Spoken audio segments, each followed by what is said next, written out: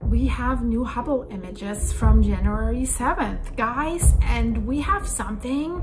It's still blowing our minds, and uh, NASA is still operating, case closed, nothing to see here. CIA says it's classified, we're not giving you any information.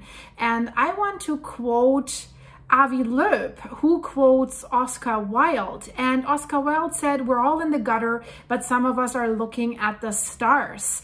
And that's why Avi Loeb has said in his recent post that when we observe interstellar objects in our backyard, we should not treat their anomalies as being of rather limited interest. Instead, let's focus on understanding the obvious anomalies of interstellar object 3I Atlas, especially its anti-tail jet. And then he says something very, very important, I think, guys, that we need to be aware of about the mysterious visitor. He says this visitor to our backyard is not a regular street cat since a tail appears to emerging from its head. If you know what I mean, this with the anti-tail. And why is he saying um, we should not treat 3i Atlas as of rather limited interest because this is what happened to him. Can you imagine this? And this is related to the new image that we have. When the first Hubble image came out July 21st, he noticed an anomaly with a coma and he was writing a paper about it with a colleague. And then this was rejected to be published because they said, this is of rather little interest to the astronomer community. And he was baffled by this and then finally was able to publish it in another journal. But this is how NASA behaves. It's a normal comet. There's nothing to see here. And what he says when he looks at the new Hubble image, he says, it's remarkable. The tail is remarkable. Let's talk about this because now we're dealing with three anomalous jets, guys. Forget everything you know about comets. This is really what we need to do when we're dealing with 3I Atlas. Latest Hubble images from January 7th, 2026. We see something, guys, never observed before. We have a jet of material that is extending towards the sun, the anti-tail, and it's not away from the sun like a normal tail, but towards it. This isn't just weird, guys. This already challenges our understanding of comet physics. But now we're dealing with three jets. So let's break this down what this looks like. You see it here on the image. Hubble Space Telescope has captured fresh images of 3I Atlas and then they processed it with a technique that's called the Larson-Sekanina rotational gradient filter, which removes the symmetric glow around the object to reveal faint structures because otherwise we cannot see them. And then this image shows us a complex triple jet pattern. And in the unprocessed Hubble images, um, 3I Atlas, and we already saw that on July 21st, um, has a glowing halo of light. And after processing, we see these three new jets prominent, tightly collimated jet pointed like a laser, not wide like a usual comet, and it points towards the sun. And then we see two smaller jets. And here comes the thing at an angular separation from it. So that's important. The sunward jet extends to a scale that's comparable to the distance from Earth to moon, like hundreds of thousands of miles. And this is a scale way larger than expected for ordinary comet outgassing. We've discussed this. I've explained this in detail. Check my playlist about 3i Atlas in the end screen because now we need to look at this new feature with the three jets because that is really surprising. In every known comet, solar heating causes ice to sublimate into gas right away dust and gas are blown away from the sun by solar radiation pressure and the solar wind. So producing a tail that's oriented opposite to the sun, it's strange. And the January 7th image shows a real physical structure that points towards the sun. Still, It's not like a visual imagination, not an illusion that's caused by viewing angle or perspective. And we're getting back to angle right away because that is important when we're talking about these two other jets.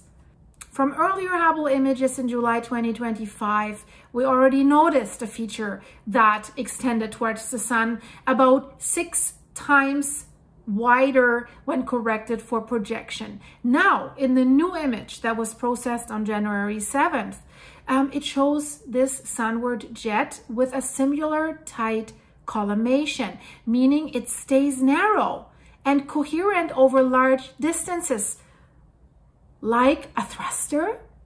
Again, pointing towards the sun still. So the result that we see here, the primary jet towards the sun, two additional jets that we see here. And now comes the angle in place, placed roughly 120 degrees apart relative to the main jet. Absolutely geometric.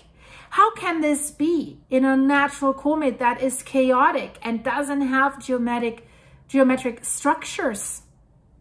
And also the, the jets, the structure's narrowness and persistent over this great distance are what makes this phenomenon, um, to say the least, scientifically noteworthy.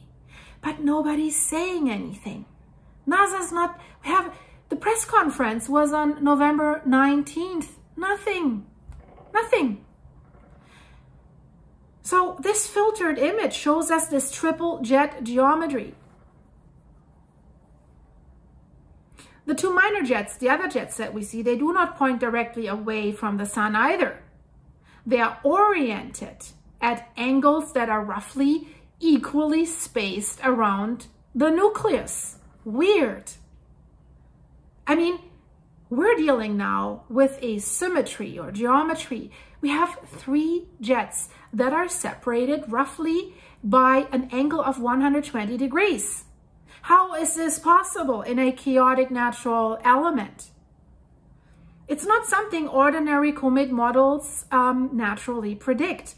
Not at all. We've never seen it before. And spatial alignment like this hints that the jets are tied to stable structure, structural or rotational features of 3I Atlas's nucleus.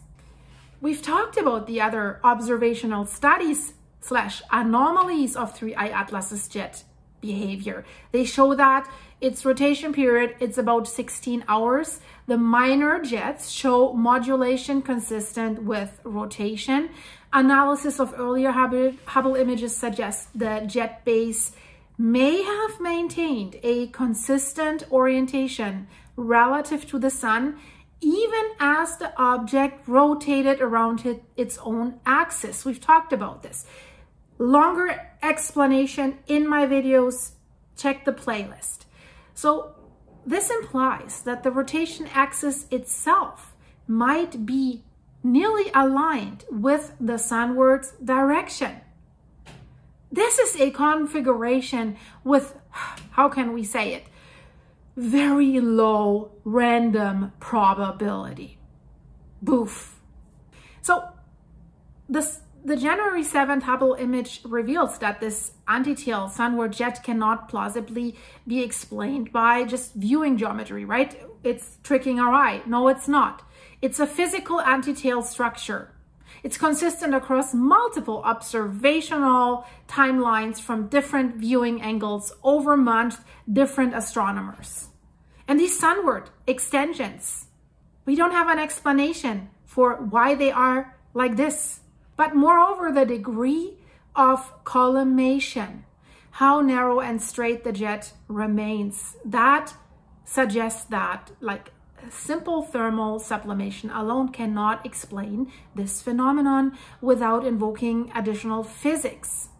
So this, this sunward anti-tail jet is a major anomaly that nobody is even trying to explain the least. I mean, the best explanation, let's be honest, that I find that we have is that the CIA says it's classified. We're not telling you anything. Right? Because NASA is not hinting at anything. They're just saying nothing to see here, natural comate, case closed. The anti-tail is a feature, the way that tail works is a feature that stands in contrast to absolutely any ordinary comate behavior. So this is a major anomaly plus this geometry, plus these 120 degree angles that we see here on this images. And this is a clear observational anomaly that stands apart from ordinary cometail behavior, con conventional thermal sublimation models, and simple perspective effects. So this new image, January 7th image, solidifies the existence of this jet structure and really it highlights to everyone out there how interstellar object 3i Atlas continues to exhibit features that challenge our expectations to say the least. But the only guy that seems to worry about this is Harvard professor Avi Loeb and some of his colleagues. The official narrative is strange and remains strange. I'll stay on the pulse of this for you guys if you want to learn about the latest um, images and more informations that we are getting from 3i Atlas. March 16th is the date and there's a moon. Jupiter has a moon, Eupheme. And that is interesting because is 3i Atlas targeting that moon as well? Aside from the fact that it's mysteriously coming towards Jupiter, which is another anomaly that nobody has explained check out the video in the end screen. Check out my playlist, guys. There's so much going on. Thank you so much for watching. I see you in the next one. Click here.